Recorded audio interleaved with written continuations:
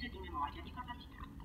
Schegge di memoria è un romanzo dickensiano, eh, nel senso che Dickens è proprio uno dei personaggi ed è quindi un romanzo con una parte storica, una parte psicologica, dove si scava eh, nella memoria eh, di questo psichiatra londinese che si chiama Irving, che è un passato molto scuro.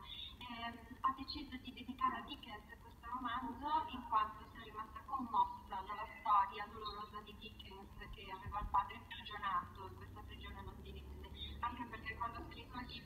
problem with getting